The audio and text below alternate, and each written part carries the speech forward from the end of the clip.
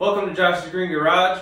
In this video, I finally have a uh, viewer request video. If I don't get too many of those, uh, I really like it when I do. I wish I would get some more. This video in particular is going to be going all over all of the controls on the X700 series, in particular my X758. So let's get into it. Before we get started, I just want to give a quick reminder that I now have a Facebook page for the channel. So if you like this channel, uh, please go ahead, check out the Facebook page, uh, maybe like that. Uh, I'll be posting sneak peeks of whatever I do on there, uh, just any random things that I get into. I also have links on there to my eBay page. So please feel free, check that out.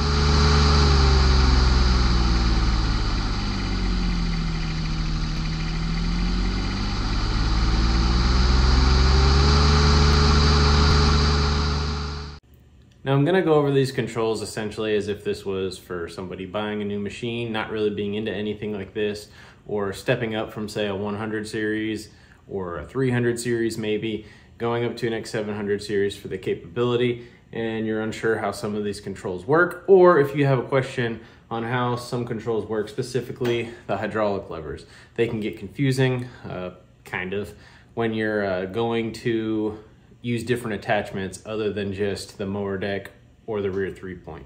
This video is also gonna have information on some attachment controls or extra accessories, I should say, as far as the three point, the PTO, and if you have a front quick hitch. I'll be going over all the controls uh, for each of those as well. I'm gonna start here with the operator station though. I'm gonna go through this side, I'll go through the other side and then show you the display real quick and then we'll go out through there. So first thing you have this is gonna be on the right-hand side controls. You have your ignition, of course, so off, you have your, you know, on and then the start position uh, next to it. And if you have a diesel, it won't be on the gas, but if you have the diesel on the on position, it'll run the glow plugs to warm up the cylinders uh, first. So you got to leave that on and then you'll wait till the little squiggly line indicator goes off on the dash before you start if it's cold weather. Next to that here is the PTO button or lever, something I should say. Uh, essentially, you pull it out and that starts the PTO no matter which selection. Uh, you always want to start this at a higher throttle. You don't ever want to engage this at low throttle or you could damage your clutch pack in there. Below that, we have the parking brake. This parking brake set right now so you just push forward on the pedal down here. I'm not sure if you can see it. I can't remember if I put it on screen or not, but I'll show those controls. But if you push that in and then down, it releases it. And then to engage it, you push in on the pedal and then lift up and then release and it keeps the parking brake engaged. So pretty easy operation there. Next to that then over here, you have cruise control. A lot of lower level tractors won't have this. I I'm not sure if anything in the 100 series has it. Same with the 200, and I'm not sure about the low, lower level 300s. I know the higher level 300 series, I would imagine, would have it. Uh, but I could be wrong. I would have to look into it. I'll put that information in the video just so you guys know. Not that you really care though if you're looking at a 700 series. But that's pretty easy to use it's kind of similar to how the park brake works to where um, if you're going, if you're driving forward, you would have your forward pedal pushed in so much and then you just push down on that and it basically holds the uh, the forward pedal down, you know, to keep you at the same speed. I have noticed when using this though that if you're going a certain speed and you push that cruise control button once you let your foot off, it may slow down just a little bit. I'm not sure if they're all like that, but this one and the X580 that I had both did that a little bit. I think it's just the design, you know, there's a little bit of slack in there and it's enough that you can tell a difference. So if you're gonna set this and gonna use it a lot, which I really don't use it that much, at least with the size yard that I have right now, maybe if you have a really big long yard and you're doing a lot of big straight passes, it'll be worth it. But for me, I don't really use it a whole heck of a lot. So if you do, it might be beneficial to at least push your pedal in a little bit further than what you want to go and then set your cruise and back off and that'll probably be about where you want it to be. And then to disengage it, you can either push the pedal in, push that back or lift it up, or I guess you can push on that top part, or just like a car, you can just tap either the brake or the reverse button, but I wouldn't do that. I would put your foot on the forward pedal and then push the button again or lift the button out, however it works. You just don't want to jerk yourself to a stop. If you push reverse, that's not going to be good for it. Uh, and then pushing the brake, you could, you know, come to a, a halt pretty quick. There's also the hydraulic levers on this side, but I'm going to talk about them a little bit later separately. I'm going to go through the rest of the controls first. So now we will move on to, well, I'll just move you down here. I'll keep you all on this side first, and then we'll go to the other side. So let me move you down here, and we'll talk about the pedals. Now lower here on the tractor, we have three different pedals.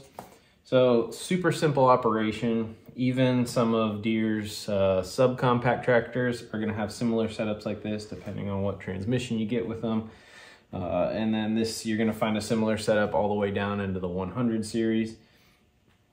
Really simple to use. I feel like it's a fantastic setup. Super easy to learn, easy to control.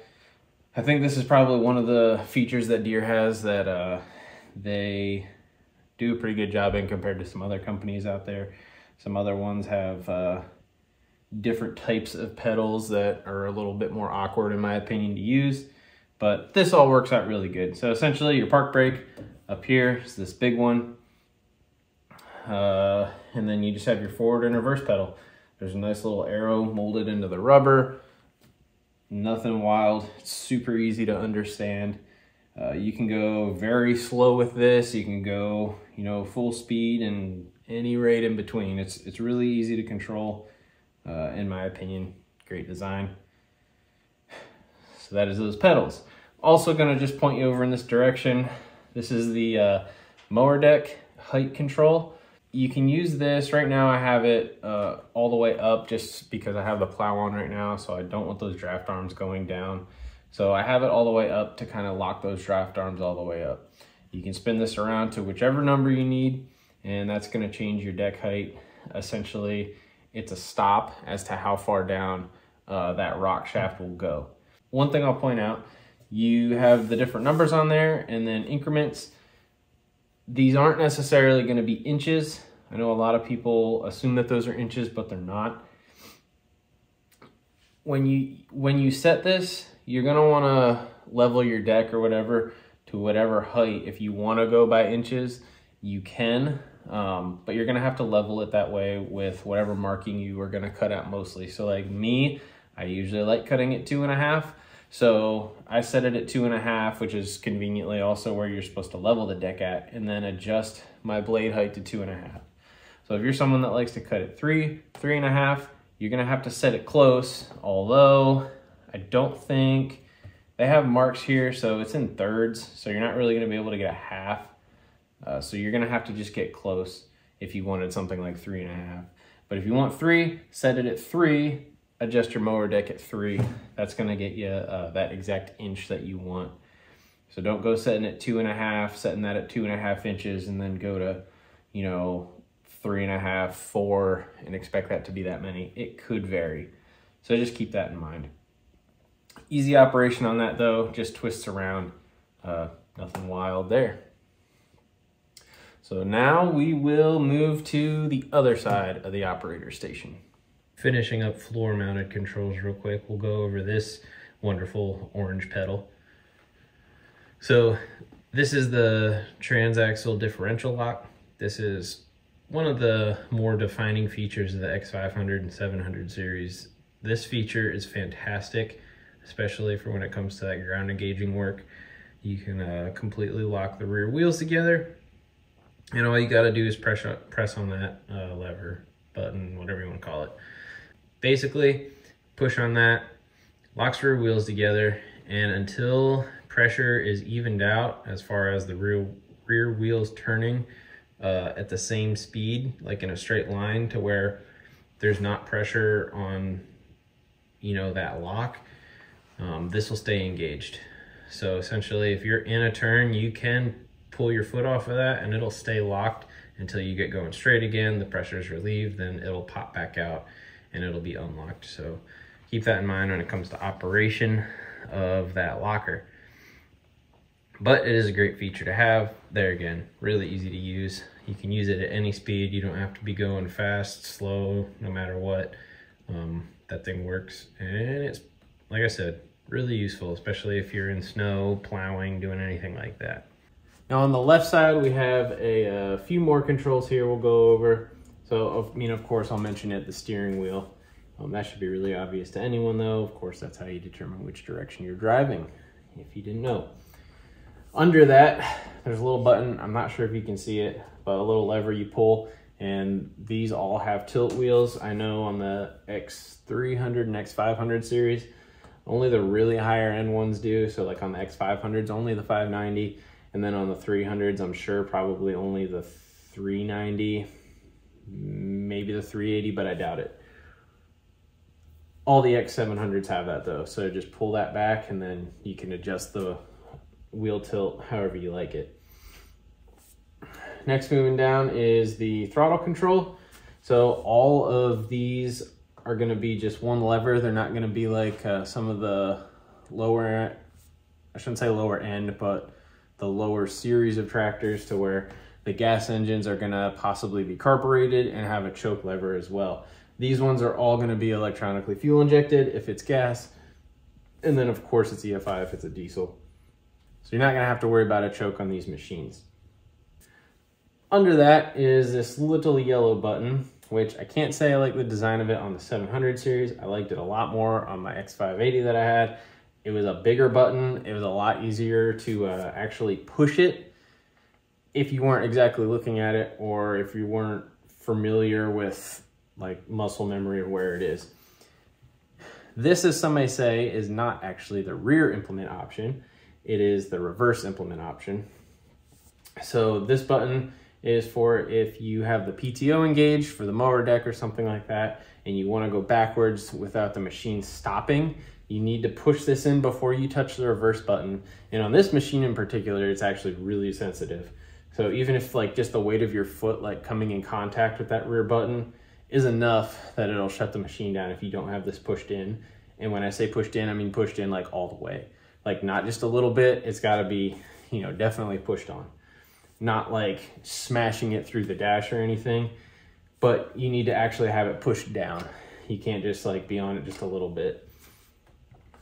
So that button, some people love it, some people hate it.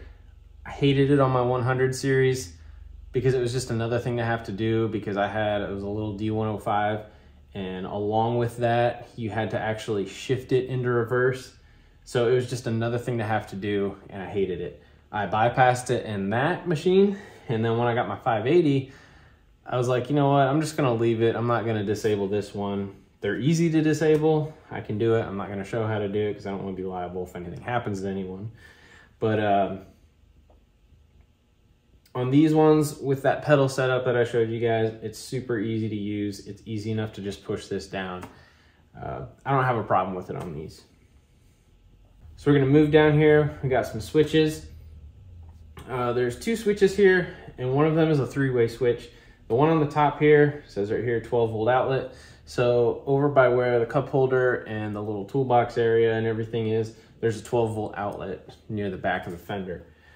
You have control over that. You can turn it on and off. It's not always on like some other machines may have. So kind of neat there. You know, you can utilize that on and off switch depending on what exactly you're trying to do with it.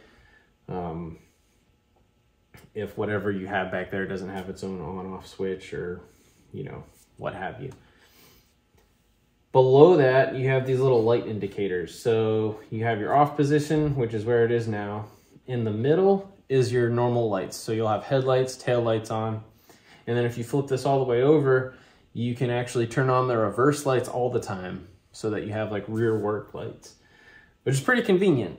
Uh, it's pretty nice if you're doing anything at night, plowing, anything like that, and you don't want your light on only when backing up because it does have reverse lights when just backing up.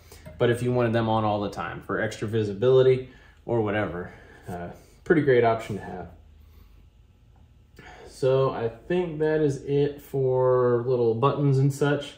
I'm gonna try to show you guys just a little bit of control that you have on the LCD display. All right, I'm gonna freehand this one. So turn my ignition on. And over here, that little, there, that button there, that light that just went off, that was the, the glow plug button. Okay, now for your display here, you don't have too much control over really anything other than you can change the brightness. So to do that, you just push this little info button and then from there, the plus button, you can change the brightness of the display. And then you can go back. That's pretty much it. It'd be cool if there was some other info, like if you could change that to show like RPM or, you know, anything like that uh, might be cool. But there again, I guess you have RPM on the sides, but I guess it'd be cool to sometimes see the actual number as opposed to just, oh, you're this high on the RPM or whatever. I feel like they could have added some more info there, but whatever. It's a pretty nice display nonetheless. And I'm going to freehand a little bit of seat talk. So of course you have an adjustment there to put the seat forward and back. And you have an adjustment here to, you know, change the angle of the uh, seat back. So that's pretty cool, cool feature of this seat. Uh, if you do have the armrest kit, you have an adjustment here you can screw these in or out. Uh, if you screw them in clockwise, it will change the angle of the armrest. It'll make it go down a little bit. Uh, if you thread that further out, it'll angle the armrest up a little bit. So depending on however you uh, prefer your armrest to feel, or depending on how you have the seat back angled, you can change that to fit your liking. So now I'm going to get into uh, one of the, I would say, like highly defining features of the X700 series tractors. So you actually have an SCV with two outlets, so you have a little bit more than just hydraulic deck lift like you would find on the higher end 300 series and the higher end 500 series. All of the X700 series are going to have a uh, two circuit uh, hydraulic SCV on them. So really neat. You can do a lot of stuff with it. Uh, aftermarket, you can even add, uh, you can plumb in essentially an extra, I shouldn't say an extra circuit, but a circuit extension uh, to go from the SCV up front here to the rear. That way you can run uh, a hydraulic circuit at the rear of the tractor utilizing what you have up here on the front on the side. So the hydraulic levers tie into this. They're also your mower deck lift and the three point lift. And I'm gonna explain all of that. So you'll have four different S, or sorry, not SCVs. One SCV, you have four different outlets up here. Your two top ones, green and black, are gonna be controlled by this lower lever. The two bottom ones, yellow and silver, are gonna be controlled by the upper lever. So it sounds a little bit different because, you know, upper and lower here, upper lower down there, and they're actually flip-flopped. So don't assume that the upper level upper lever runs the upper circuit. It doesn't. I'll explain to you uh, how you can tell if you were ever unsure. So, dependent on the implement, if you're doing the mower deck or the rear three-point lift, you're going to be using your upper lever. The upper lever is only going to go front and back, whereas the lower lever is going to be able to go front and back, but also if you push it forward kind of fast, you heard that click, that's into the float position. So at this point, it essentially leaves that circuit open to where fluid can flow back and forth. And if you have an implement hooked up to it, it'll be able to rise and fall as it pleases. It's not going to be locked to one position uh, like if you had this lever or the lower level in not float position. Um, they're going to stay at whatever position it's set at. And then you just pull back and you're back out of the float position. You don't have float when you're using the mower deck or the three-point lift. The mower deck and the three-point lift have a float feature essentially built into their design.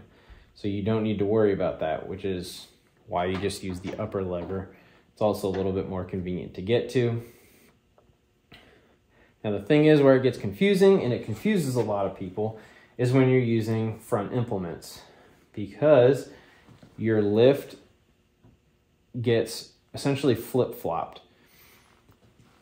So I mentioned about how the mower deck, the three-point, have float built into their design. When you have the quick hitch, like you might be able to see up here, there's not a float feature built into the design. There's a cylinder right here, and this cylinder you can control to actually keep that plow blade or whatever at one position, or you can use the float feature. Why you would want the float is because if you're using something like this and you hit, you know, a solid piece of ice or something, or the ground's a little bit uneven, you don't necessarily want it to dig in. You want it to be able to kind of like follow that terrain or a snowblower or something like that. You want it to follow the terrain. So that's why you use the float feature for the lift. You can click that forward and then your lift will do it at once. And then in that case, your upper lever is what controls the side to side.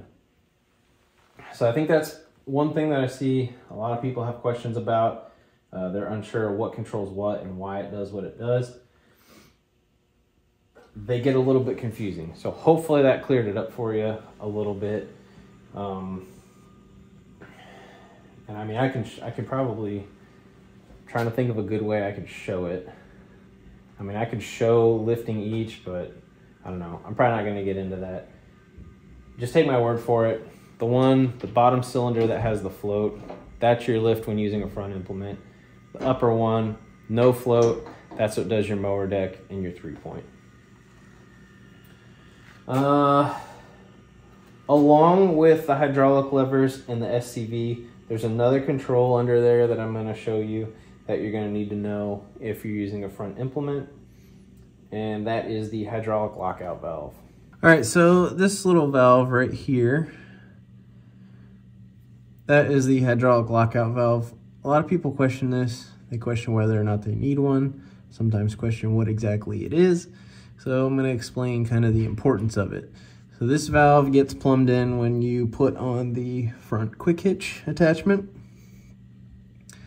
And essentially what it does, so this is the lower circuit, the yellow and silver, yellow and gray, whatever. So what it's doing is it's locking out flow from this circuit um, which is the upper lever, so your rear control.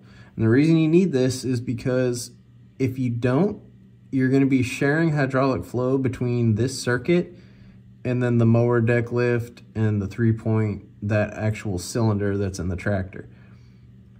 What happens because of this is you lose like the speed at which that circuit can actuate the side to side turning of the plow blade. So remember, this is what's controlled by the upper lever. So it's the lower circuit. So this is not the float one. So when you're using that, uh, you know, front plow blade or whatever, um, this is going to be controlling your side to side, your angling. Essentially, this is closed right now, so it's blocking flow. If you open this, so turn it counterclockwise a whole bunch. It will open and then it's gonna allow fluid to go back through uh, to that cylinder in the back and it'll then lift the mower deck, lift the three point. There is a company out there, Auxiliary Hydraulics. Uh, they sell a quarter turn valve and it's a little bit cheaper. So I'm not sure if it's the angling kit that includes this or not, or if it's all quick hitches. I'm betting it's probably just the angling kit because if you have a snowblower, you wouldn't have angling. So they may not include that part. So it may just be part of the hydraulic angling kit, but I can't 100% remember. So if you upgrade later on and for some reason don't have this lockout valve, you can always buy one from them. It's going to be cheaper than the Deere one, and it's going to be a little bit easier to use. But that is, hopefully answers any questions about that valve. Um, I see a lot of questions that people have about you know, why why their either blade moves slow or they're transitioning from winter time, you know, use like so they say they got their machine in the winter time. It was already set up for winter work and now they're going to springtime, putting the mower deck back on or putting something on the rear of the tractor and it's not wanting to work. This is probably the reason. You probably have this valve closed. So, you know, look into it. If it's closed, open it up. Everything should work for you. Uh, if your angling is really slow, everything else is lifting, then that's a, a sure sign that your valve is open and you need to close it. So hopefully that clears all of that up. So next we're going to look at the uh, optional three points. So not all tractors, of course, are going to have this. This is only going to be if you have this option. So there's a few adjustments and then, uh, well, I guess really all of it's an adjustment, but essentially another control that I'll talk about. So top link, you have the top link here. This is adjustable. You can turn it either way and it's either going to lengthen or shorten that top link, which will adjust the angle of your implement.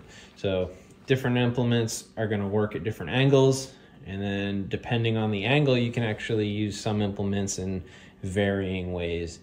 Uh, if you have this link shorter and you're say using a box blade, with it shorter, you're going to be taking a more aggressive cut with the blade. If you lengthen it and you're only using, say you have like a dual bladed box blade, with this lengthened, you'll only be contacting the ground with the rear blade and you can use it as more of a smoothing action. So depending what you're using, that can change how the implement uh, works, whether it be more or less aggressive. Also, on one of your side links, you have this adjustment here. This is gonna allow you to tilt the implement. So something like a uh, turning plow, um, you can use this to adjust the angle that it's cut at. So I know with a plow like that, one wheel you're gonna have in the furrow and the whole tractor is gonna be sitting you know, at an angle. So you're gonna wanna have this at a slightly different angle in order to account for that. However, generally plows are gonna have uh, the pins at the side at different angles, so you're not gonna have to worry quite so much about adjusting that. Sometimes I would imagine if an implement has more weight on one side or the other though, it can set on there a little bit weird, so you can use this to compensate for that and straighten everything out. It's just one of those adjustments that's built into there. Um, normally, I think once you have this set, to be level, you're not probably gonna have to worry about it too much, but I figured I'd point out that you do have an adjustment there. Right here is the, I guess, third adjustment that you're gonna have uh, with the three point hitch, and this is your depth control. So you have a really fine adjustment here with how deep you want your three point hitch to go. I think there's one video, I kind of showed it before, but this is kind of a hack you can use. So this is a DeWalt uh, gyroscopic screwdriver. This is the one that uh, you can change. It can be either straight like that, or you can have it more of like a, you know, screw gun type shape. But essentially, it's pretty neat. There's not a forward or reverse. You literally turn it one way or the other and uh, you know you can use this to adjust this so what you got to do is I have here it's a 15 millimeter socket just one that I don't use much it's a 12 point socket so generally don't use those a whole lot or use them at all really if I can avoid it but I took one of them ground out two little half circles on the sides and essentially what they do is they fit onto the end of this and engage this uh, spring roll pin. So once you have your weight off of this hitch, you can actually use this and uh, turn this really fast. So if you have it locked up like I do right here, you can, let's see, I think, yeah, loosen it and it's gonna push. There's a big square steel nut in here. It'll drive it all the way to the back and you can do it a lot quicker than having to manually be down here doing this. So if you guys don't have something like this, I would highly recommend it. I literally bought this tool specifically with this in mind. Um, I don't really have much intention to use it for anything else. Uh, I mean, I can use it for other things and I have, but realistically, I, I bought it specifically for this purpose.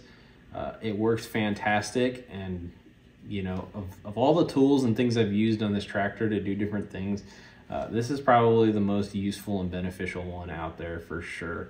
So definitely look into something like this if you haven't to adjust this. And uh, I'm gonna do a little bit of demos later, I think, coming up here shortly actually. And uh, keep a lookout. I'll show you guys this and, you know, having it used in action. One thing I forgot to mention on the three point is the sway chains here.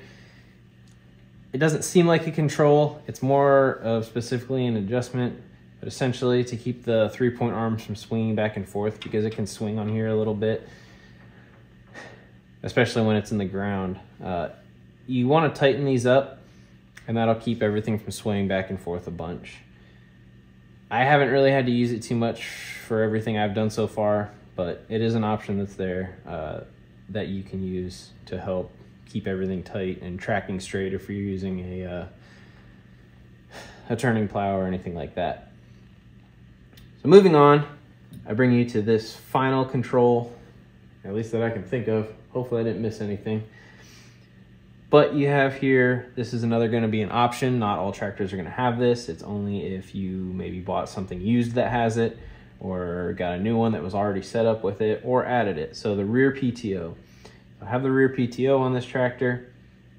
And when you have that, you're gonna have this lever. This lever is a selection as to which PTO you wanna use. So there's a sticker that should be on there and it has little dots highlighted of which PTO you're using. So this rear PTO is a 540 RPM PTO.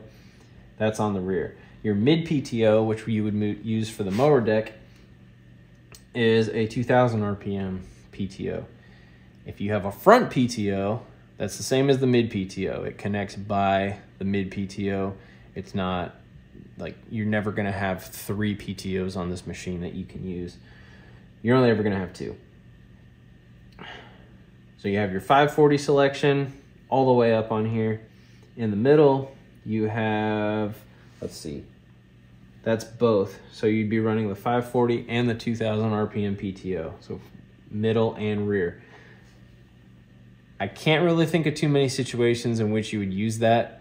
Not sure why you would. There's not a whole lot of implements out there or combinations that you would do that. The only thing I could think of is apparently there's certain material collection systems that'll use this PTO.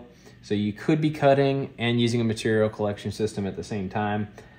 I would also think maybe if you had some sort of like spreader on the back and you were spreading something over your grass right after cutting it. Uh, I don't know. I'm having a hard time. I'm still fairly new, you know, to all this, so I'm not sure 100% of what all's out there, why you would want to use that.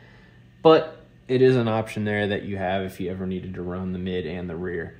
There again, it, the mid runs the front PTO, so maybe you have a front mounted attachment that uh, you want to use along with something on the rear. If you guys have anything like that, please let me know. I'm really curious. If I see the question, I'd like to be able to answer it for people. So if I can learn some different things that could go on there, that would be great to have. And then all the way down, you're gonna have just the mid PTO. So your mower deck, uh, and then anything on the front. Keep in mind, the rear PTO, that one you can actually use uh, without being in the seat. So you can run that one as long as you have the parking brake on. You don't have to be in the seat. Any other PTO, you have to be in the seat in order to use those. So keep that in mind. So if you have something like a generator hooked up to the back, uh, I know people also talk about um, like grain augers, stuff like that. Uh, you could run with the rear of this machine. So that's that.